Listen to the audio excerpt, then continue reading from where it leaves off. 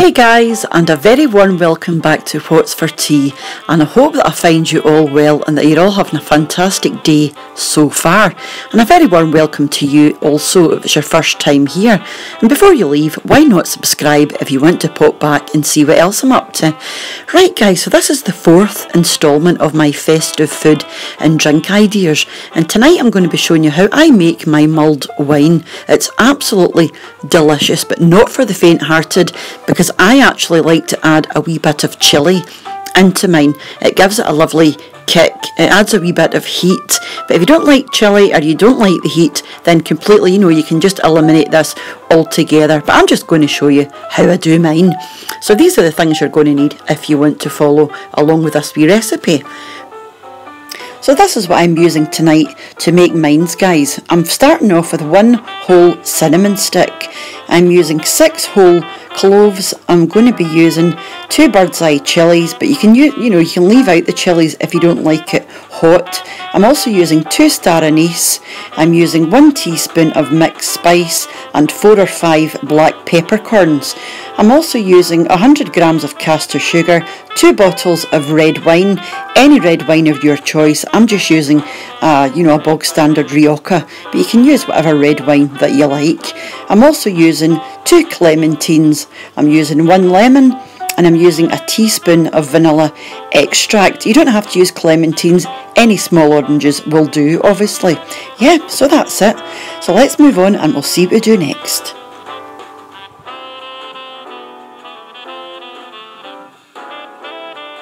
So the first thing you want to do is peel the fruit um, and just get some, you know, some of your skin off.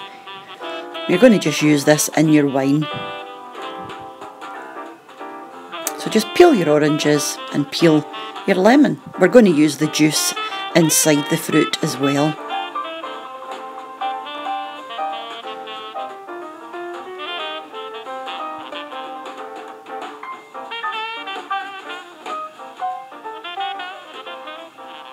This wine is absolutely beautiful, guys. It's so festive. You know, you get it all the winter markets here as well, you know, and it's a lovely smell. So first thing you want to do is go over to your pan, pop your sugar in, and then your cinnamon stick, just snap it in two. And you can add your two star anise.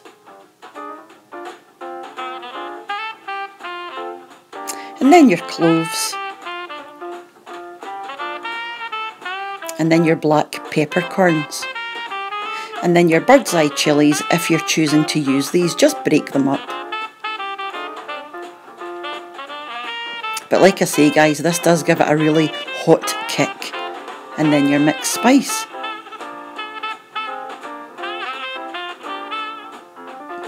You want to pop in a teaspoon of vanilla extract.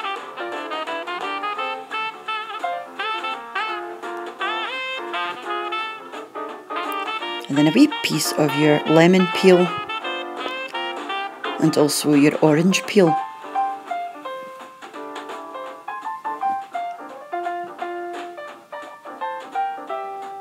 And then you just want to go ahead and squeeze as much juice from your fruit as you can. Don't worry if you any pips in here guys because everything's going to get, you know, it's all going to get drained anyway and you're only going to be left with the wine.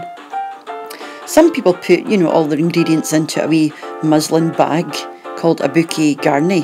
But I actually like all the bits floating around in the wine. I like to see what's going on. and then what to do is pop in about half a bottle of your wine. You just want to cover the sugar and give it a good stir. Pop it into a low heat and give it a simmer for about five minutes and it'll thicken up a good bit almost into a syrup.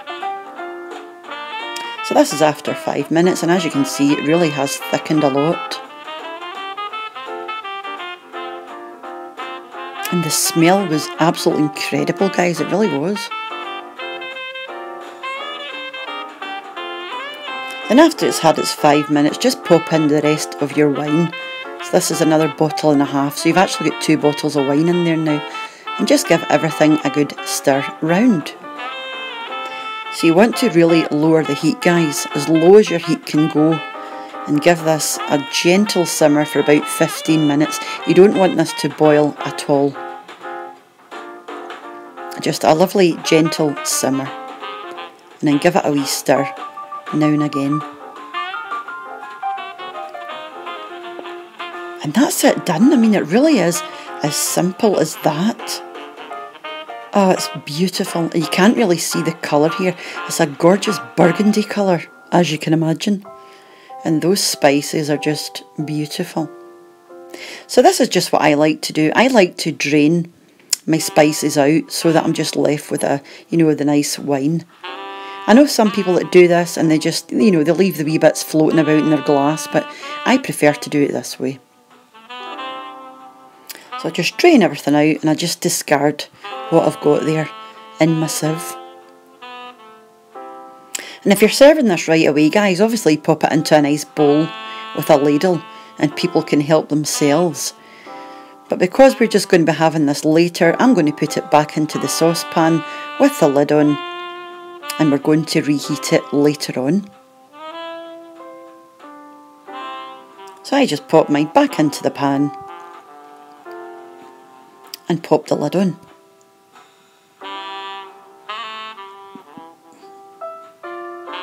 Oh, who am I kidding? I had some right away. oh, I'm so greedy.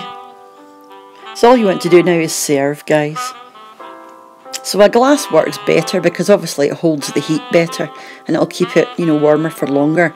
I just like to go around the rim of the glass with a wee piece of the orange peel. You know, it just gives you a nice wee flavour on the rim pop your wine into a glass. And that's it. That really is it now. A wee bit of decoration. And there really is nothing else to do. Other than give it a wee try. and this really, you know, it took my breath away. It's so spicy. But that's obviously, you know, because of the chili that I put in and also the peppercorns. I'm the only one that I know, you know, that actually puts peppercorns and chili into my mulled wine. But like I say, guys, if you don't like the spicy kick, leave out the peppercorns and leave out the chili, and you'll just have a nice, lightly spiced wine then. So that was it. So thank you very much again for popping over and seeing what's going on, and I hope you enjoyed that wee video. Uh, I've got meals of the week going up within the next hour or so. So hopefully I'll see you back for that. So until then, guys, take care of yourselves and I'll see you soon. Bye for now. Bye now.